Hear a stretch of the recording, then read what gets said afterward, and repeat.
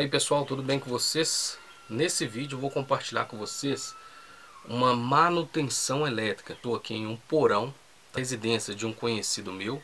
Esse pequeno quadro, ele tem a distribuição de alguns pontos de tomada. E está ocorrendo o seguinte problema.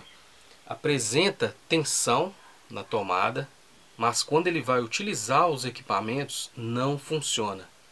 Eu vou mostrar aqui na realidade do dia a dia do eletricista para vocês a solução desse problema. Vamos lá.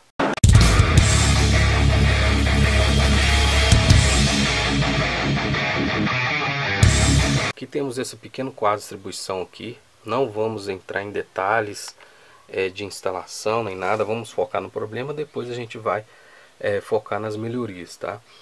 É, então temos aqui um pequeno quadro de distribuição. Daqui vai alimentar ponto de tomada lá. Aqui interruptor com tomada. Tem ver aqui Todos os juntores aqui estão armados. Então agora eu vou aferir o teste aqui. E vou aferindo aqui a tensão na tomada.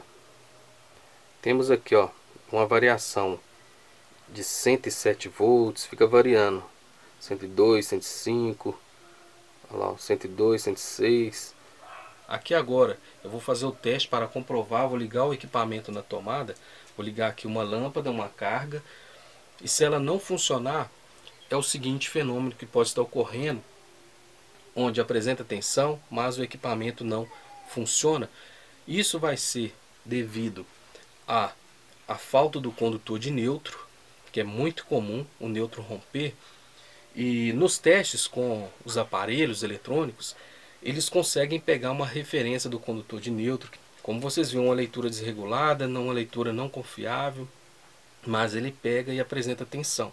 Outra coisa pode ser o mau contato no condutor de neutro na conexão dele, na conexão dos cabos, na emenda, que derivou para alimentar essa instalação.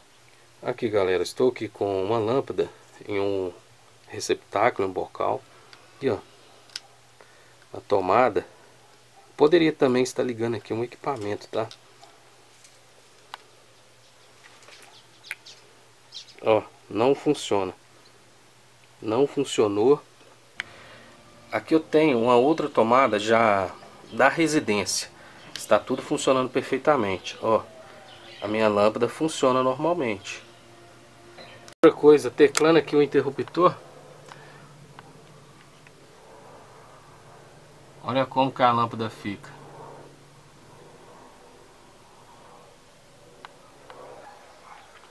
Então pessoal, ali eu tenho a, a derivação com aqueles conectores ali nos cabos de entrada. Então foi derivado ali cabos, descem aqui e vem alimentar o porão. Esses conectores, se não der o devido aperto, eles vão dar problema mesmo com o passar do tempo. Então agora aqui eu vou dar o devido aperto e melhorar os contatos dessa conexão. Aí galera, deu o devido aperto aqui no condutor de neutro. E quando dá, essa porca solta, tá vendo? Indicando que deve, teve devido aperto. Aqui, galera, ó, a tensão com multímetro na tomada, 124,7,8.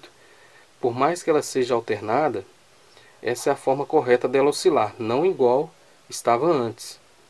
Olha lá, 124,7,8. Ligando a lâmpada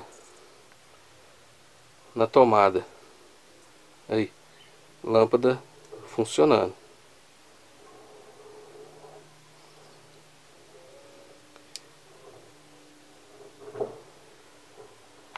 Agora aqui, galera, vamos ver se já voltou a funcionar.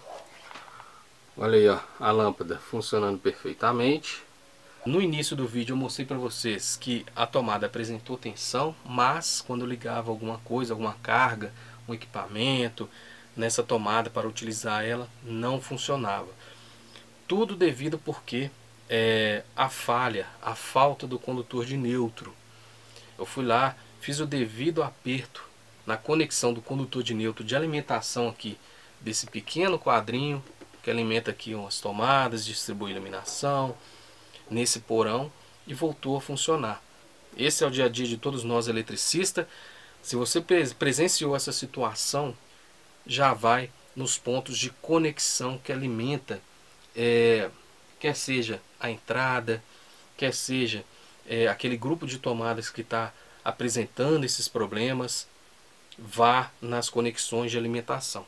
Beleza? Agora eu peço seu apoio, inscreva-se no canal, siga a gente também lá no Instagram. Vou deixar o nosso Instagram aqui na descrição do vídeo, também no primeiro dos comentários. Basta digitar lá no Instagram, Coisas de Eletricista. Vou deixar o link aqui na descrição também. Beleza? Curte, se inscreva, compartilha, deixe seu comentário abaixo. Tamo junto e até o próximo vídeo. Valeu, galera!